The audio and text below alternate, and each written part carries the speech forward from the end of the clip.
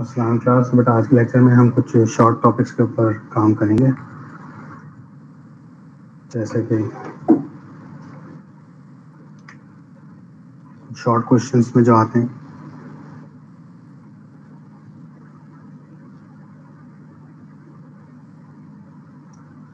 एक तो इसमें आपके पास conservative field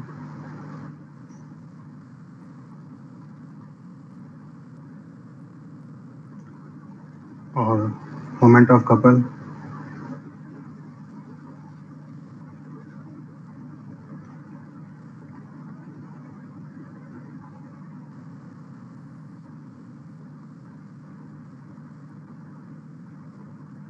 moment of couple बराबर होता है force into perpendicular distance between the forces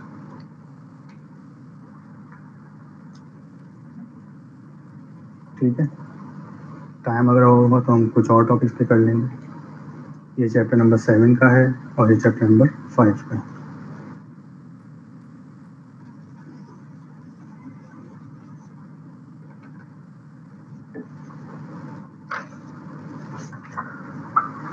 तो बेटा, पहले मैं आपको कपल पढ़ा रहा हूँ।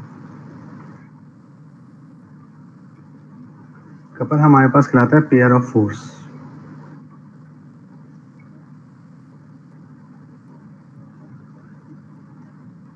जैसे ह्यूमन कपल होता है, हमारे पास जो बूट्स का कपल होता है तो कपल का मतलब दो चीज़ें होंगी यहाँ पे। यहाँ पे हम कपल फिर से पढ़े तो यहाँ पे बाद होगी फोर्स की, यहाँ पे फेयर ऑफ़ फोर्स होगा। यानी कि कपल में हमारे पास तीन चीज़ें बेटा आती हैं। जैसे एक ऑब्जेक्ट है तो इस पर अगर बेटा आप जहाँ पे भी फोर्स अप्लाई करते हैं मिसाल के तौर पर मैं यहाँ पे फोर्स अप्लाई कर रहा हूँ तो उस फोर्स के पैरल हम एक एक्सेस ड्रॉ कर देते हैं, वो कहलाता है उस फोर्स का लाइन ऑफ़ एक्शन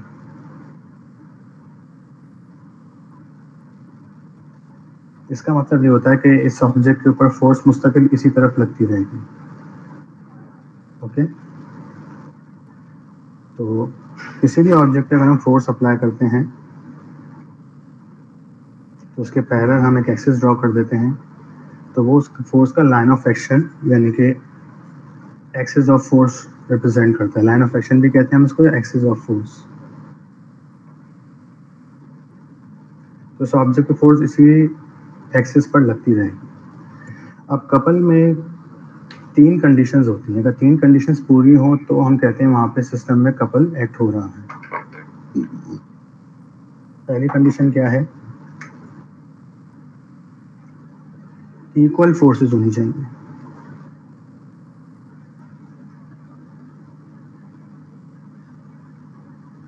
ठीक है? दो फोर्सेस होंगी। सबसे पहली बात, दो फोर्सेस होंगी। इक्वल होनी चाहिए। अपोजिट डायरेक्शन में होनी चाहिए। इक्वल का मतलब एफ़ वन और एफ़ टू दोनों बराबर हैं। पहला पॉइंट ये हो गया, दूसरा पॉइंट ये हो गया, तीसरा पॉइंट होता है different line of action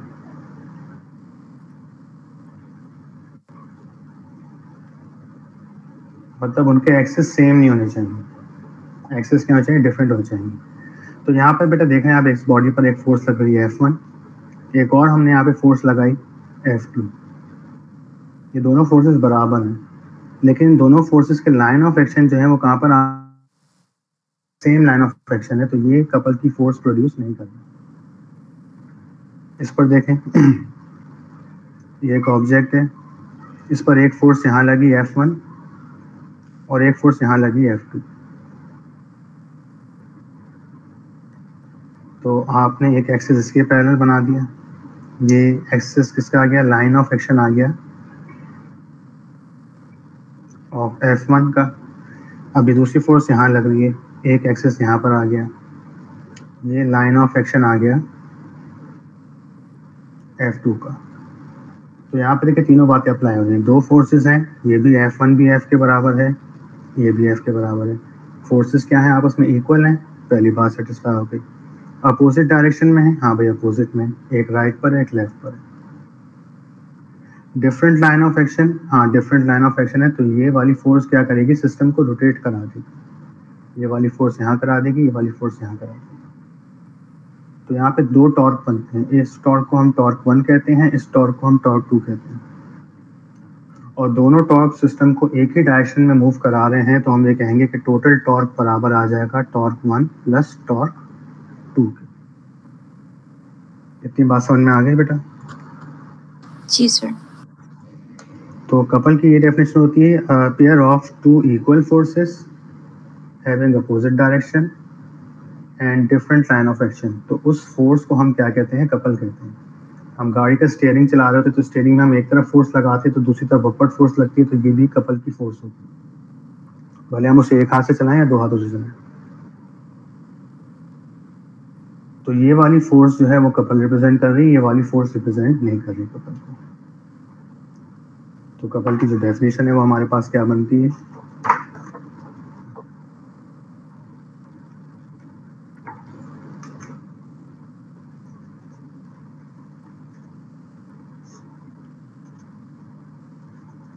A pair of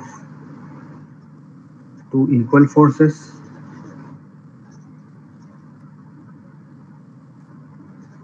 are acting in opposite direction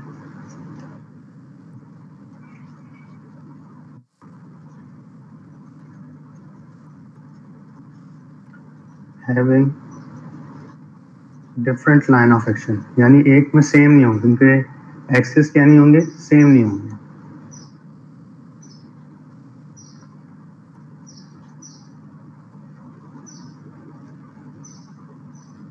is called और मोमेंट ऑफ़ कपल का जो फॉर्मूला होता है, हमारे पास टॉर्क बराबर आता है किसके? एफ़ इंटू डी ये हमें प्रूव करना है।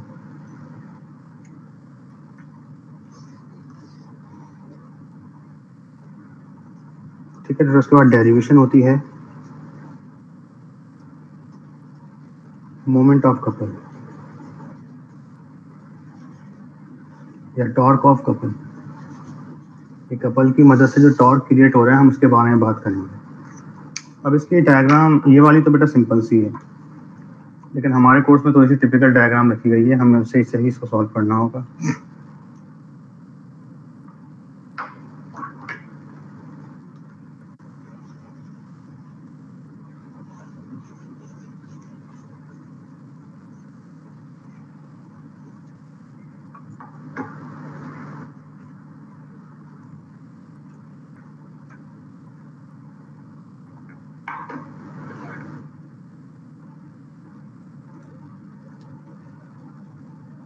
है टॉर्क ड्यू टू कपल ये कभी कभार डेरिवेशन आ जाती है।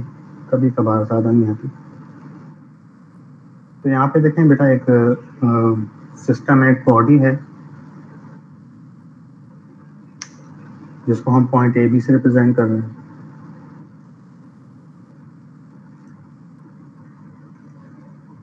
ये बॉडी है।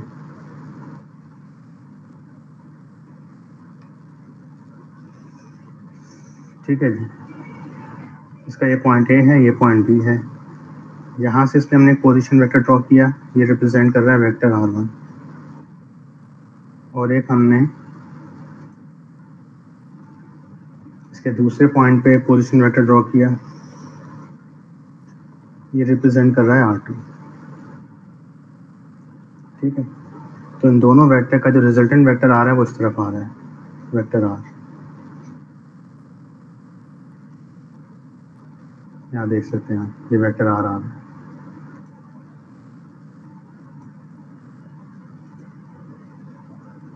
ठीक है जी। अब इस बॉडी का जो एंगल बन रहा है इंक्लाइंट है बॉडी ये इसका एंगल थीटा है। तो इन दोनों पॉइंट्स पर एक फोर्स एक्ट कर रही है। एक फोर्स यहाँ एक्ट कर रही है, इधर, और एक फोर्स यहाँ एक्ट कर रही है। इस बॉडी पर एक फोर्स इधर एक्ट कर रही है और एक फोर्स इधर एक्ट कर दोनों फोर्सेस जो हैं वो कपल फॉर्म कर रही हैं। ठीक है जी? तो हमने इस वाली फोर्स को प्लस माना है तो इस वाली फोर्स को क्या मानना पड़ेगा? नेगेटिव मानना पड़ेगा। कोई एक फोर्स नेगेटिव है, एक फोर्स प्लस में है। और ये वाला डिस्टेंस अगर इनका आर है तो ये वाली जगह बेटा क्या हो जाएगी? आर साइन थीटा हो जाएगी। आर साइन थीटा इनका डिस्टेंस डी के बराबर है, जो कि परपेंडिकुलर डिस्टेंस है। जैसे इस डायग्राम में परपेंडिकुलर डिस्टेंस ये था। इस पॉइंट के अबाउट रोटेशन होगी। तो ये वाला आर वन कहलाता था और ये वाला आर टू कहलाता था। और इन दोनों के दरमियान का डिस्टेंस ये ये डी कहलाता है।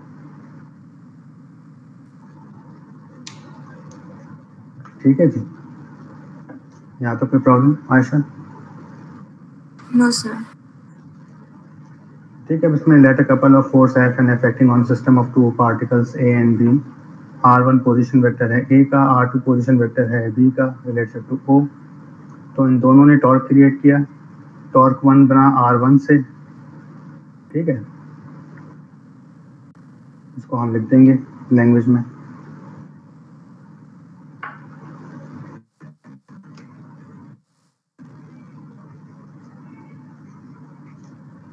Consider two forces.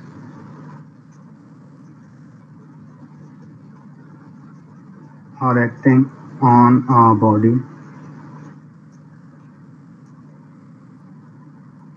AB let R1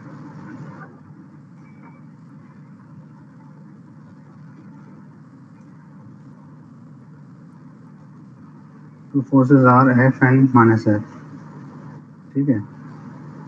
are one जो है वो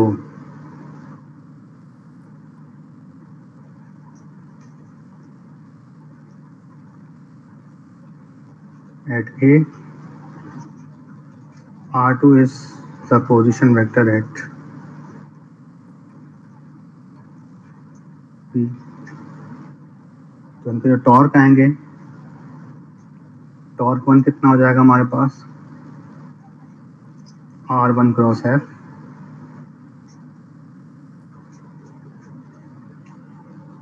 और ठीक है भाई। आर वन के साथ जो टॉर्क बन रहा है, उसको हमने प्लस फोर्स कहा हुआ है प्लस एफ़ कहा हुआ है, और आर टू के साथ जो बन रहा है, उसको हमने माइनस एफ़ कहा हुआ है। इसको माइनस एफ़ कहा हुआ है हमने, इसको प्लस एफ़ कहा हुआ है। ठीक है बेटा? आर वन के साथ प्लस एफ़ है और आर टू के साथ माइनस एफ़ है। तो आर टू कितना है? R two cross minus F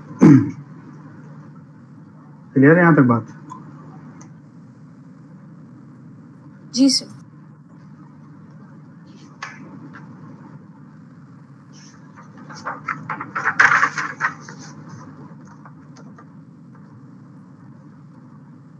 बेटा, इसके बाद हमें नेट टॉर्क निकालना है।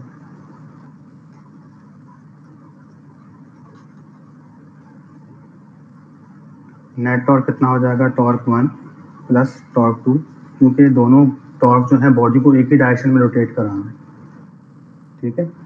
जो फोर्स लग रही है इस किस तरफ़ लग रही है? और एक इस तरफ़ लग रही है तो बॉडी जो है वो, ये यू रोटेट कराएगा, ये यू रोटेट कराएगा।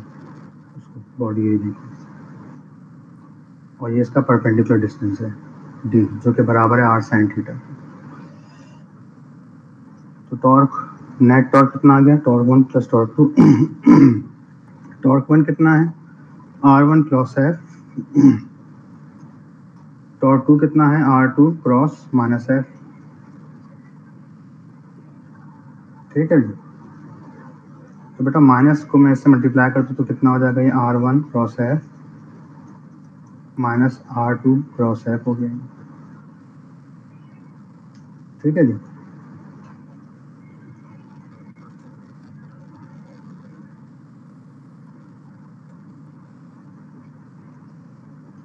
तो देखें वेक्टर फॉर्म चल रही है अभी तो। तो बेटा एफ़ हम यहाँ से कॉमन निकालेंगे एफ़ हमने कॉमन निकाल लिया। R one minus R two cross F vector में आप पोजीशन चेंज नहीं कर सकते, मैं एफ़ को यहाँ नहीं लिख सकता एफ़ यहीं आएगा, क्योंकि एफ़ सेकंड वेक्टर है। और R one minus R two बराबर किसके हैं? आर के। डायग्राम से देख सकते हैं आप। आर क्रॉस है। In scalar form scalar form में लिखें इनको। तो बेटा क्रॉस प्रोडक्ट कैसे ओपन होता है? आपने पढ़ा है कि ए बी साइन थीटा बराबर होता है ए क्रॉस बी के। तो ये ए है, ये बी है ओपन कर दें तो ये बराबर हो जाएगा आर एफ़ साइन थीटा के। ओके और डायग्राम से देख रहे हैं आप कि आर साइन थीटा किसके बराबर है? डी के तो आर साइन थीटा अलग कर लें एफ़ अलग कर लिया आर साइन थीटा अलग कर लिया। ये बराबर है डी के तो ये बराबर आ गया डी तो टॉर्क यहाँ पे जो कपल का टॉर्क आ रहा है मोमेंट ऑफ़ कपल ये टॉर्क जो है मोमेंट का है कपल का टॉर्क है सिंगल टॉर्क नहीं है डबल टॉर्क का नेट टॉर्क है। तो टॉर्क ऑफ़ कपल किसके बराबर होता है हमारे पास? किसी भी एक फोर्स के magnitude single force multiply by perpendicular distance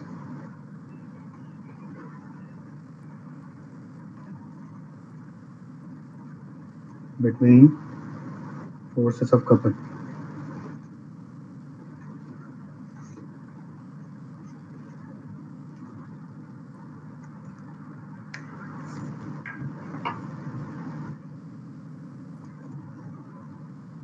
ठीक है बेटा यहाँ पे समझ में आ गया जी सर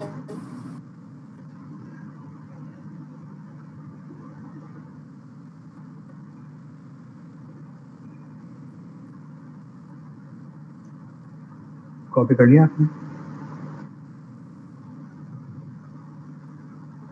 एक मिनट सर। हाँ कर लें कॉपी। मुझे बता देना जी सर।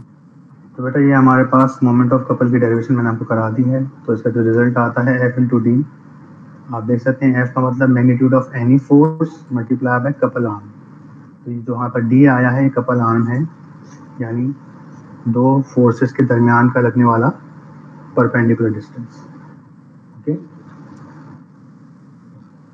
अब हम कंजर्वेटिव फ़ील्ड में आपको करा रहा हूँ। ये क्या एंगुलर मोमेंटम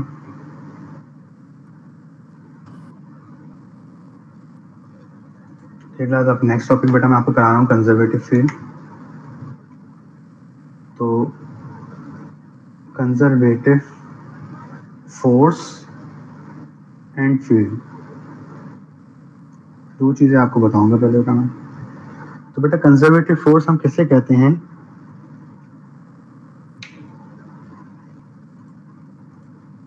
जी बेटा तो कंजर्वेटिव पहले आपको फ़ील्ड पढ़ने से पहले फोर्स सुनना पड़ेगा कंजर्वेटिव फोर्स हम किसे कहते हैं। तो ये शुरुआत होती है ज़ीरो वर्क से। आपने टॉपिक पढ़ा होगा ज़ीरो वर्क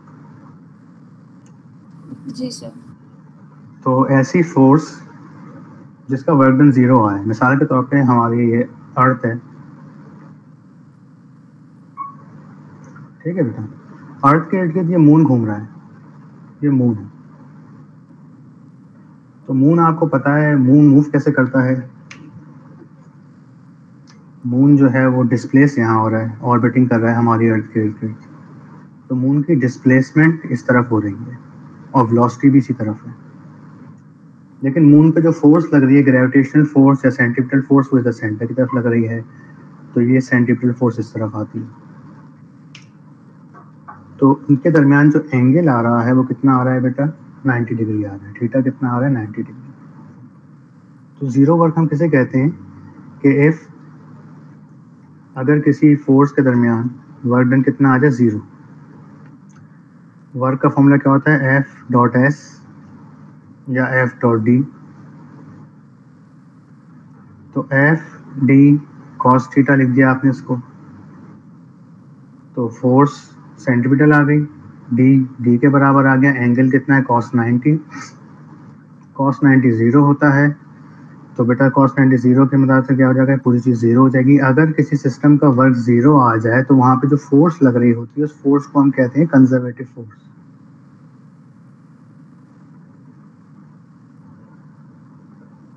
ऐसी फोर्स जिसका जो टोटल वर्क डन है अराउंड क्लोज पाथ क्लोज टुकड़े पर क्या आ जाए? ज़ीरो आ जाए। तो वर्क तो ज़ीरो आ गया, लेकिन उस फोर्स को हम क्या कहेंगे? वो फोर्स कहलाएगी कंजर्वेटिव फोर्स तो यहाँ पे सेंट्रिपिटल फोर्स कंजर्वेटिव फोर्स बन गई सेंट्रिपिटल फोर्स का वर्क डन हमेशा ज़ीरो आता है। ठीक है नहीं मून जो ये रोटेट कर रहा है, इसके लिए मून की कोई एनर्जी नहीं लग रही। है ये काम अर्थ फ्री में करा रही है उससे। तो यहीं से फिर हम उस फोर्स को हम कहते हैं कंजर्वेटिव फोर्स और उसकी जो फ़ील्ड यानी जहाँ तक वो फोर्स महदूद होती है, फैली भी होती है, उस फ़ील्ड को हम कहते हैं कंजर्वेटिव फ़ील्ड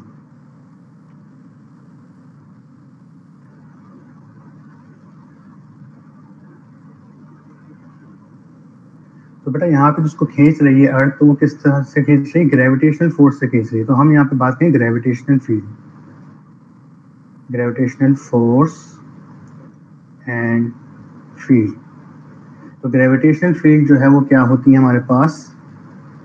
कंजर्वेटिव होती है। क्या होती है? कंजर्वेटिव होती है।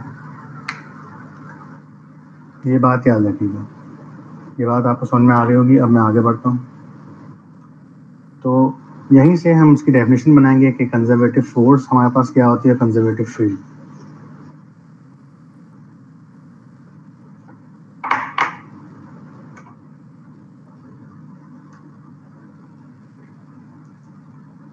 if the total work done along a closed path is zero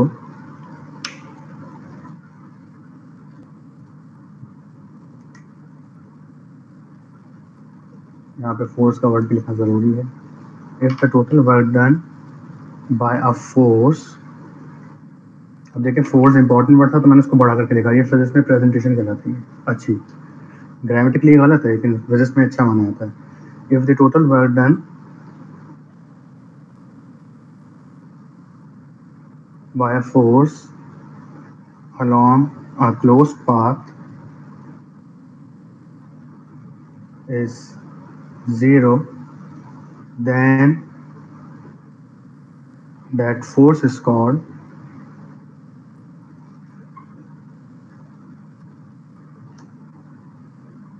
conservative force,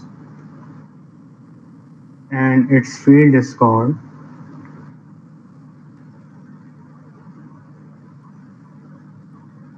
conservative field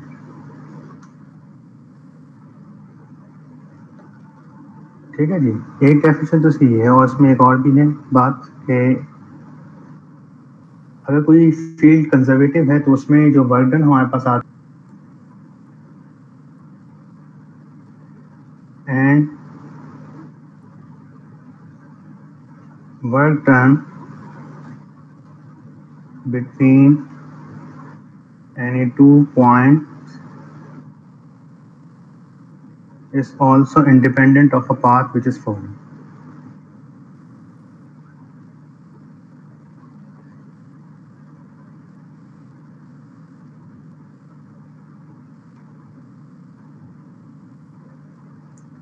ठीक है तो इतनी भी आप डेफिनेशन लिख देंगे काफ़ी है यानी कि इस बात का मतलब ये है, इसको तो समझ लीजिए कि इसमें कहना क्या चाह रहे हैं। इसमें कह रहे हैं मिसाल के तौर पर अगर आप एक वर्क डन कर रहे हैं, ये ट्राइंगल है। ए बी सी तो बेटा मैं वर्क डन कर रहा हूँ फ्रॉम वर्क फ्रॉम मुझे सी पर जाना है। कहाँ जाना है? सी पर जाना है। तो एक तरीका तो क्या है कि मैं ए से बी जाऊँ, फिर बी से सी पर आऊँ?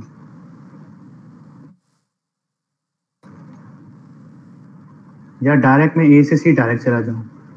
तो इन दोनों का वर्क डन बराबर रहेगा, यानी work from A to B A से सी तक का वर्क डन बराबर आना चाहिए वर्क फ्रॉम ए से बी टू ए से सी का वर्क डन बराबर आना चाहिए डायरेक्ट ए टू सी के तो इसमें आप क्या करेंगे, पहले आप वर्क निकालेंगे ए से बी तक का, उसमें ऐड करेंगे बी से सी तक का वर्क यानी work from A to B plus work from B to C इनको जमा करेंगे इनका कुछ आंसर आएगा। मिसाल के तौर पर आंसर आ गया एच तो अगर आप डायरेक्ट वर्क निकालते हैं फ्रॉम ए टू सी तो इसका आंसर भी क्या आएगा? एच आएगा। दोनों चीज़ें क्या आएँगी? सेम आएँगी। तो अगर फ़ील्ड कंजर्वेटिव है, यानी फोर्स कंजर्वेटिव है आपके पास, या फ़ील्ड कंजर्वेटिव है तो उसमें ये डिपेंड नहीं करता कि आप किस रास्ते से दो पॉइंट पे मूव कर रहे हैं। आपको अगर ए से सी तक जाना है तो आप डायरेक्ट चले जाएँ या फिर आप ए से बी जाएँ फिर बी से सी जाएँ दोनों का जो वर्क डन आएगा वो क्या आएगा? इक्वल आएगा। इसका भी टेन आ गया इसका भी टेन आ गया। ये बात क्लियर हो गई? आयशा? जी सर। तो ये दो चीज़ें हैं इसमें। अब हम इसके प्रूफ पर आ रहे हैं। तो ये तो उसकी डेफिनेशन हो गई। अब इसका हम प्रूफ करने जा रहे हैं।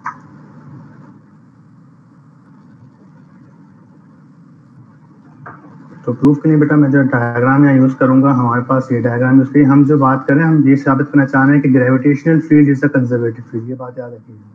हम क्या प्रूफ करने जा रहे हैं कि ग्रेविटेशनल फोर्स ग्रेविटेशनल फोर्स का वैसे फॉर्मूला आपको पता है क्या होता है, लेकिन यहाँ पे ग्रेविटेशनल फोर्स को हम वेट मानेंगे। W is equal to N G क्योंकि हमें जो ग्रेविटेशनल फोर्स है is equal to G M one M two अपनी तरफ़ खींच रही है तो वो कितनी फोर्स से अप्लाई कर रही है, हमारे वेट के बराबर। एफ़ जी यहाँ किसके बराबर है? वेट के बराबर है। तो हर जगह हम फोर्स की जगह एम जी रखेंगे, वेट के फॉर्मूले को रखेंगे। तो प्रूफ करना है हमें gravitational force is a conservative force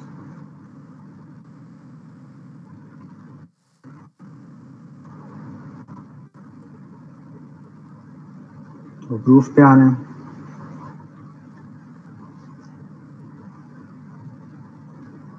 gravitational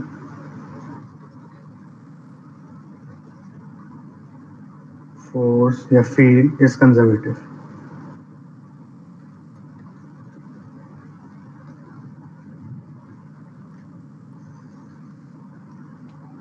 ठीक है जी तो इसके लिए बेटा मैं ट्राइंगल यूज़ कर रहा हूँ। ट्राइंगल ए बी और सी और मान लीजिए मेरी पोजीशन यहाँ पर है, मैं यहाँ पर मौजूद हूँ।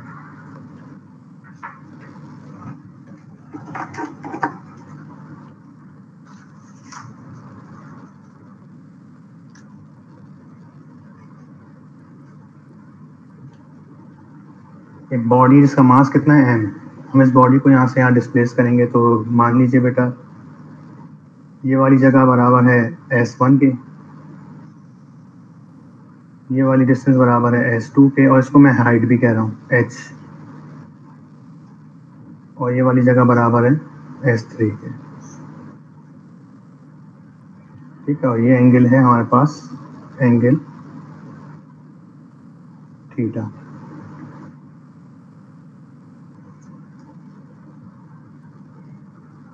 क्लियर है यहाँ तक? तो बेटा ये वाला एंगल थीटा माने ये वाला एंगल बहुत इंपॉर्टेंट है, ये वाला एंगल मैंने माना है। अल्फ़ा ठीक है तो जब बेटा बॉडी को हम पॉइंट ए से बी पर मूव करेंगे तो बॉडी डिस्प्लेस कहाँ कर रही है? बॉडी यहाँ मूव कर रही है तो ये वेक्टर एस वन आ गया। और ये आ गया नीचे इसकी फोर्स इनके दरमियान जो एंगल बन रहा है तो ये एंगल अगर अल्फ़ा है तो ये भी अल्फ़ा होगा, और ये कितना हो जाएगा? 180 एटी माइनस अल्फ़ा तो हमें ग्रेविटेशनल फोर्स या कंजर्वेटिव फोर्स को प्रूफ करना है तो सबसे पहले इसके जरा से लैंग्वेज लिख लेते हैं।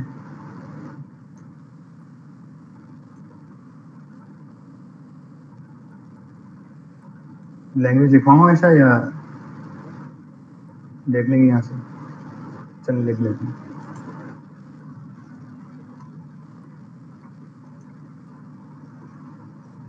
Consider a body of mass m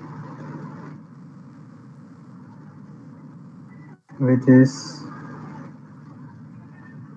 moving along a closed path A, B, C, A in form of right triangle ABC present in a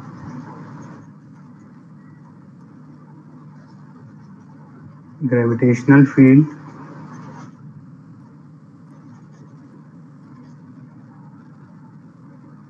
of force mg हम एक बॉडी जिसका मास बेटा कितना है m है उसको मूव कराएँगे पॉइंट ए बी सी और ये कहाँ मौजूद है? ग्रेविटेशनल फ़ील्ड में मौजूद इज़ दैट क्लियर यहाँ तक कोई प्रॉब्लम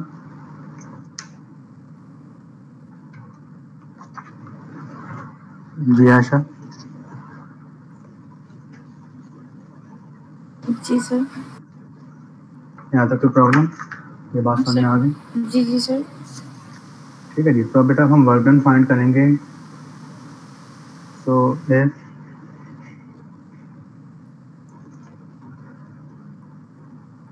find work done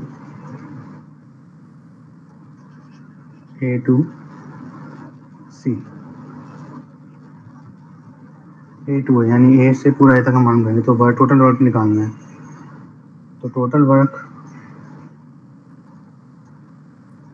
कितना हो जाएगा बेटा हमारे पास?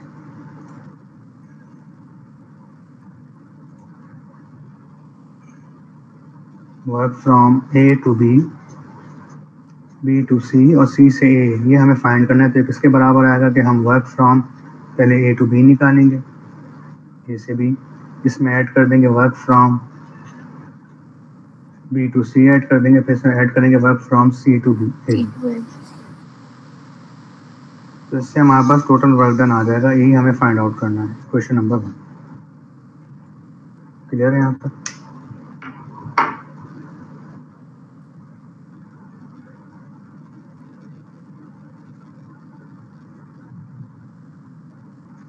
चलिए आगे बढ़ते हैं।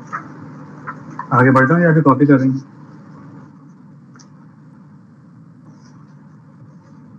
जी सर कर लिया कॉपी ठीक है यहाँ तक चलेगा अब हम आगे बढ़ रहे हैं तो हमें तीन वर्क डन निकालने हैं work from A to B B to C और सी टू ए तो बेटा पहले हम आएँगे for work from A to B तो ये डायग्राम है। जब ए से बी हम मूव करेंगे तो हमारी डिस्प्लेसमेंट यहाँ पर आ रही है, यानी कि वेक्टर एस वन यहाँ आ रहा है फोर्स डाउनवर्ड है। उनके दरमियान जो एंगल आ रहा है, कितना है? 180 eighty minus alpha one eighty minus alpha क्योंकि ये एंगल एल्फा था। और ये याद रखिए कि कॉस 180 एटी माइनस एल्फा बराबर होता है माइनस कॉस एल्फा के। याद कर लीजिएगा ताकि टाइम बच जाए। वरना कॉस एल्फा बीटा का फॉर्मूला लगाना पड़ेगा। इंजीनियरिंग वालों को पता होता है। लेकिन मेडिकल वालों को याद करना पड़ता है।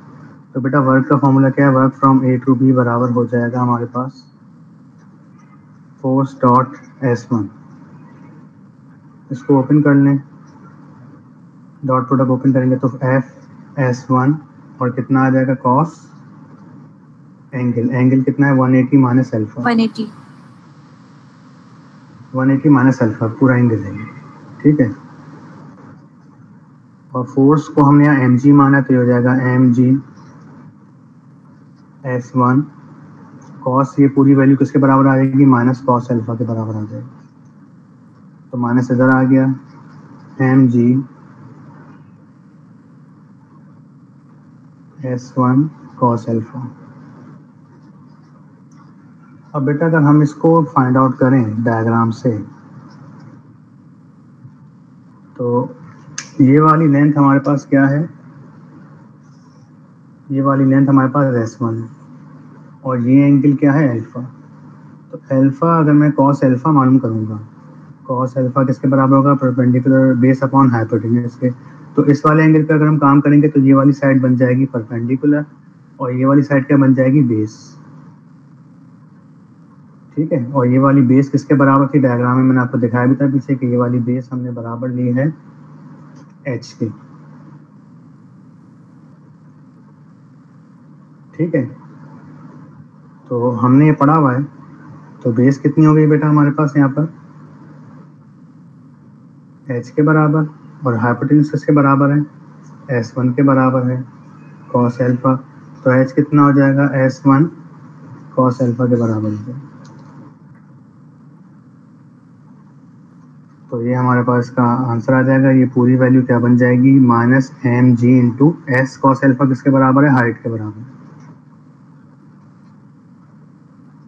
यही सबसे मुश्किल चीज़ है यहाँ पे। अगर ये समझ में आ गया तो डेरिवेशन में कोई मसला नहीं रहेगा। जी आशा। जी सर, मैं कॉपी कर रही थी। हो गया, समझ में आ गया। में आ गया। बाकी तो वर्डन बड़े आसान है। एक तो ज़ीरो आ जाएगा और दूसरा work done plus M G H आ जाएगा। तो बेटा सेकंड हम वर्क फाइंड आउट करेंगे work from B to C तो बी टू सी में क्या होगा? अब बॉडी जो है वो कहाँ से आ रही होगी? अब बॉडी बी से सी आ रही है। तो बी से सी आने पर यहाँ पे फोर्स भी डाउनवर्ड है वेट हमेशा डाउनवर्ड रहता है। और इसकी डिस्प्लेसमेंट जो है एस टू वो भी कहाँ है? डाउनवर्ड और एस टू को हमने हाइट माना हुआ है। क्या माना हुआ है? हाइट है स्ट्रेंगल तो work from B to C बराबर हो जाएगा फोर्स डॉट एस टू हो जाएगा एफ़ एस टू वन के दरमियान थीटा कितना हो जाएगा? ज़ीरो डिग्री कॉस ज़ीरो और कॉस ज़ीरो किसके बराबर होता है? वन के।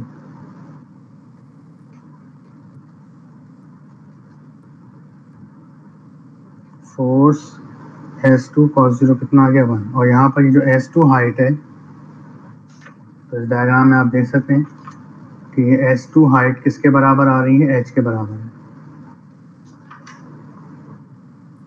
तो हाइट एच को ही हमने एस टू माना हुआ है तो ये हो जाएगा एफ़ एच और एम जी एच तो work from B to C बेटा कितना आ गया? हमारे पास एम जी एच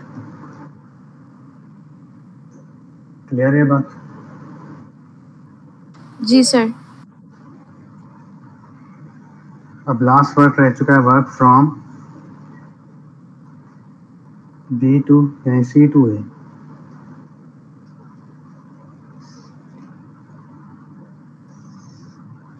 तो बेटा सी टू ए में बॉडी इस ट्राइंगल पे यहाँ मूव करेगी। अब बॉडी इधर मूव करेगी। तो बॉडी यहाँ मूव कर रही है फोर्स डाउनवर्ड है। डिस्प्लेसमेंट एस थ्री है और फोर्स डाउनवर्ड एंगल कितना है? नाइन्टी तो इनका वर्क डन ज़ीरो आएगा, आपको पता है। Work from C to F S three dot open कर लें। F S three cos zero cos sorry cos ninety और कॉस नाइन्टी ज़ीरो होता है, जिससे पूरा work done from C to A कितना आ चुका है? ज़ीरो आ चुका तो ये हमने तीनों वर्क डन बेटा निकाल लिए हैं। Work from A to B B to C और C to A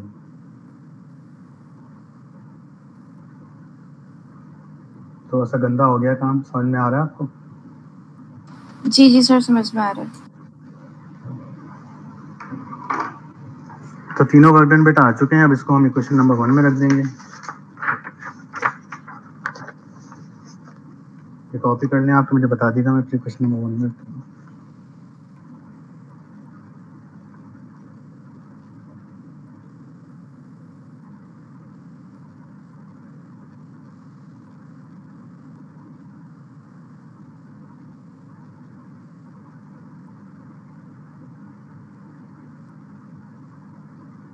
ji sir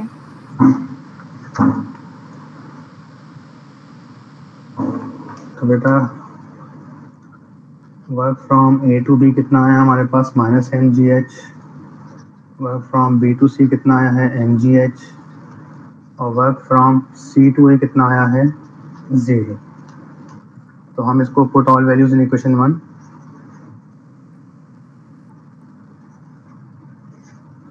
equation one क्या थी? हमारे पास कि work from A to B B to C और सी टू ए निकालना था हमें, जो कि बराबर था वर्क फ्रॉम ए से बी प्लस बी से सी प्लस सी से ए तो पहली वैल्यू क्या आ रही है? माइनस एम जी एच दूसरी वैल्यू क्या आ रही है? प्लस एम जी एच तीसरी वैल्यू क्या आ रही है? ज़ीरो टोटल बटन कितना आ गया हमारे पास? ज़ीरो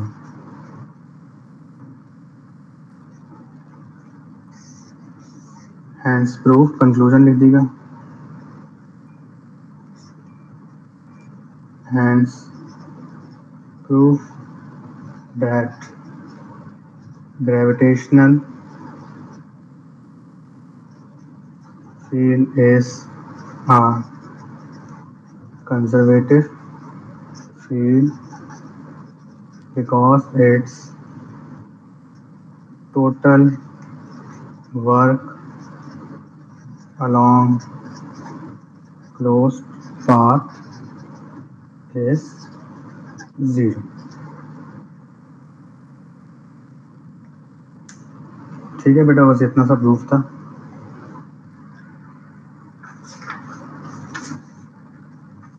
अब एक चीज़ इसमें और है कि अगर आप इंडिपेंडेंट ऑफ़ पाथ वाली बात भी करना चाह रही हैं तो आप कर लें। ज़रूरी नहीं है कि करेंगे। लेकिन आपने work from A to B B to C निकाल ली है। ये कॉपी हो जाए तो बताइएगा बेटा मुझे। जी सर एक मिनट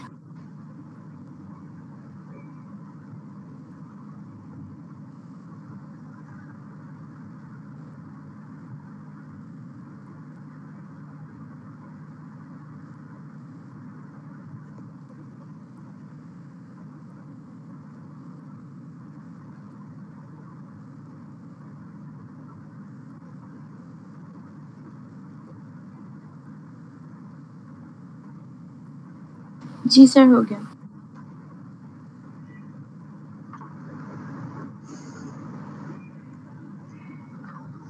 ठीक है बेटा इसकी जो एक और दूसरी बात है, इसका सेकंड पार्ट है कि work is independent of path तो for work is independent of path ये ज़रूरी नहीं करना एग्ज़ाम में। तो बताइए हमने पढ़ा था कि वर्क फ्रॉम अगर आप ए से बी गई थी तो उसका वर्क कितना आया था हमारे पास? Minus M G H minus तो बेटा अगर आप उसका अगेंस्ट जाएँगे ना उल्टा कि अगर आप work from B to A करेंगी तो उसका वर्क आ जाएगा प्लस एम जी एच क्योंकि डायरेक्शन से साइन बदलते रहते हैं। और सिमिलरली आपने work from B to C मालूम किया था तो बी टू सी में आप कहाँ गई थी ऊपर से नीचे गई थी डाउनवर्ड तो वो कितना आया था? एम जी एच आया था। लेकिन अगर आप उल्टा जाएँ सी से बी जाएँगी तो वो कितना हो जाएगा? माइनस एम जी एच हो जाएगा। ये बात क्लियर हुई आपको? जी सर तो हमें यहाँ पर अब हम दो पॉइंट सेलेक्ट करेंगे। हमें पहुँचना है ए से सी पर।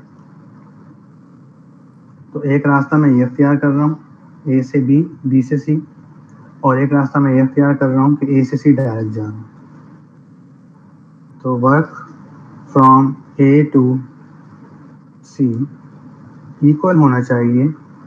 Work from A to B और सी यानी कि work from A to B plus B to C तो हमें पता है कि वर्क फ्रॉम ए से सी तक की बेटा वैल्यू कितनी थी? सी से ए जाए ए से सी जाए, दोनों की वैल्यू क्या आएगी? ज़ीरो आएगी। क्योंकि यहाँ पे वर्क 90 डिग्री पर रहेगा। फोर्स डाउनवर्ड है। तो ये किसके बराबर है? ज़ीरो के बराबर। और work from A to B किसके बराबर है बेटा? माइनस एम जी एच ये रिज़ल्ट आप निकाल चुकी हैं। और work from B to C किसके बराबर है? प्लस एम जी एच तो दोनों रास्तों का वर्क सेम आ रहा है? अगर आप ए से बी वर्क करें ए से सी जब पहुँचना है आपको तो आप ए से बी या बी से सी तक होती हुई जाएँ या शॉर्टकट से जाएँ, दोनों का वर्क क्या आ रहा है? सेम आ रहा है। तो अगर कोई फ़ील्ड कंजर्वेटिव है तो उसमें वर्क जो है, दो पॉइंट्स के दरमियान, देखें दो पॉइंट्स के दरमियान की बात अलग है क्लोज की बात अलग है। क्लोज का मतलब जहाँ से चले, वहीं पे आ गए। तो ये क्लोज हो गया। ए से चले ए पर आ गए। और अगर मैं दो पॉइंट कह रहा हूँ तो दो पॉइंट का मतलब होगा कि ए से सी सेलेक्ट कर लिया मैंने तो ए से सी का एक शॉर्टकट है। और एक है कि ए से बी गए, फिर बी से सी आए क्लियर है बात? तो बस ये इसमें है बेटा हमारे पास तो ये सेकंड बात भी आप प्रूव हो गई। Okay thank you class